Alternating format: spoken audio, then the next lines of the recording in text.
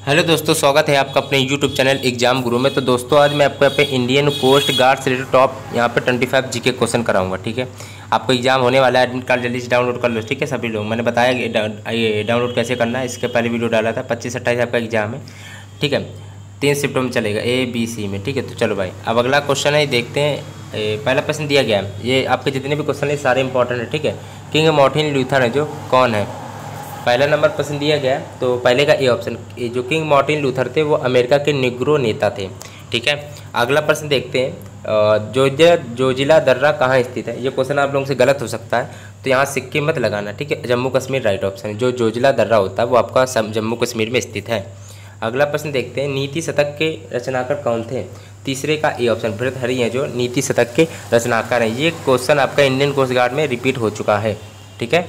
चलो भाई, वही क्वेश्चन करार जो आपके एग्ज़ाम में पूछे जा चुके हैं पूछे जा भी सकते हैं, ठीक है? बाल गंगाधर तिलक को भारतीय असंतोष का जनक किसने कहा? भारत भारतीय असंतोष का जनक किन्हें कहा गया? चौथा नंबर का डी ऑप्शन वेलेंटाइन सिरॉल ठीक है? वैलेंटाइन सिरॉल को बाल गंगाधर तिलक ने भारतीय असंतोष का जनक कहा था, ठीक है?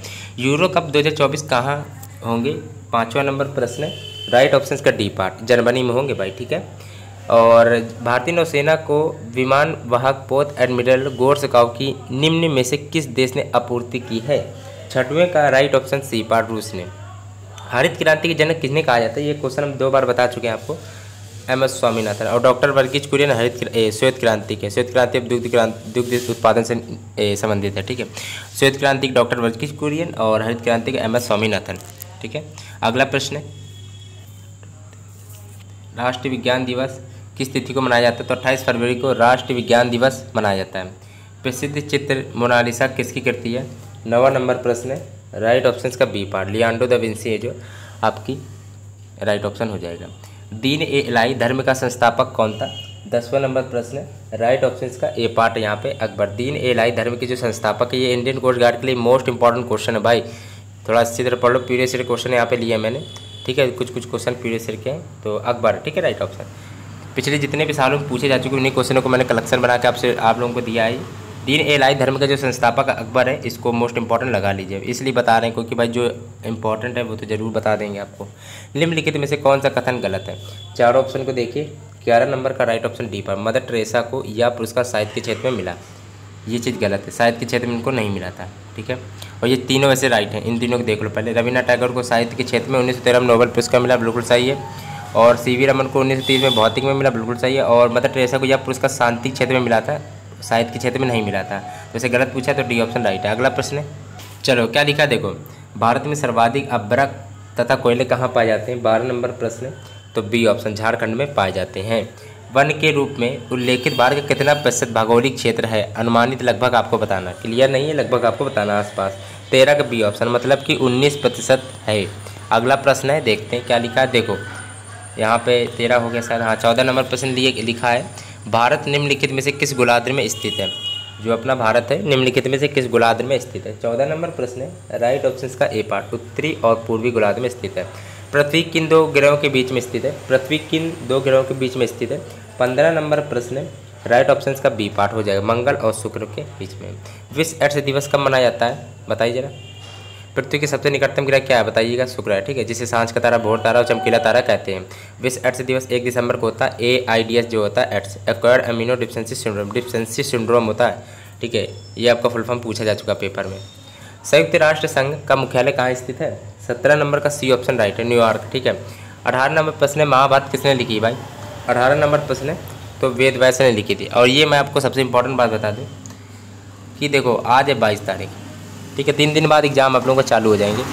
और मैंने ये कि देखो काफ़ी वीडियो मैंने डाल दिए हैं अपने अपने चैनल पे। ये कि आज ही मैंने काफ़ी आपको इस ए, दस दस वीडियो आपको डाल दिए दस ग्यारह।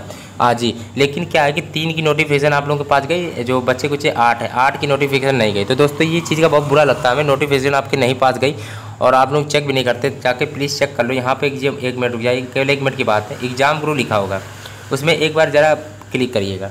ठीक है क्लिक जब करेंगे तो यहाँ पे आपको जब क्लिक करोगे तब यहाँ लिख के आएगा होम वीडियो और प्लेलिस्ट तो वीडियो में जब जाएँगे तो वीडियो में आपको लिख के आएगा तीन घंटा पहले ये वीडियो डाला, दो घंटा। ये कि इंग्लिश के मैंने चार प्रैक्टिस सेट भी डाले तो आप लोग आज ही देख लेना, ठीक है? इंग्लिश साइंस जी के सब करा दी तो आप लोग प्लीज़ जाके चेक कर लेना एक बार प्लीज़ ठीक है? और वेद व्यास अजंता किस राज्य में स्थित है? उन्नीस नंबर प्रश्न right option B part Maharashtra में। काजीरंगा किसके लिए जाना जाता है? बीस नंबर प्रश्न राइट ऑप्शन इसका क्या होगा? डी पार्ट राइट है। बीस का डी रायनो के लिए, ठीक है? अगला प्रश्न है। चलो, अगला प्रश्न है, वंदे मातरम, यह गीत किसने लिखा? वंदे मातरम, यह गीत किसने लिखा? है किस नंबर का सी पार्ट है? बंकिम चंद्र चटर्जी ने लिखा था, राष्ट्रगीत आपका वंदे मातरम है, और राष्ट्रगान है जनगण मन जिसे रविन्द्रनाथ टैगोर जी ने लिखा था, और यह सबसे पहले उन्नीस सौ ग्यारह ईस्वी में कांग्रेस के अधिवेशन में गाया गया था। भारत में दिया जाने वाला वीरता का सर्वोच्च पुरस्कार क्या है? बाईस नंबर प्रश्न बाईस का right option A part, Paramvir Chakra, PVC. अगला प्रश्न श्री हरिकोटा किस राज्य में स्थित है? तो तेईस नंबर प्रश्न, राइट ऑप्शन का क्या होगा? तो आंध्र प्रदेश में, श्री हरिकोटा जो आपका आंध्र प्रदेश में स्थित है, ठीक है? चलो मध्य रात्रि के जो मध्य रात्रि के जो सूर्य का देश किसे कहा जाता है? मध्य रात्रि को, चौबीस का बी पार्ट, नार्वे को, ठीक है? अगला क्वेश्चन है, अजीत वाडेकर किस खेल से जुड़े हुए हैं? पच्चीस नंबर प्रश्न है, पच्चीस का ए ऑप्शन, क्रिकेट से संबंधित है अजीत वाडेकर। देखो दोस्तों देखो, आप लोग से बस एक छोटी सी विनती है कि छोटा छोटा सा लाइक कर लेना चैनल सब्सक्राइब कर लेना प्लीज़ हो सके। तो आपके लिए इतनी मेहनत कर रहे हैं।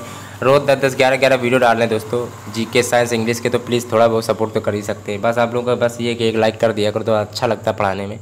और सब्सक्राइब भी कर देना। आप लोग नहीं करते हैं, बुरा लगता है, ठीक है, कर देना।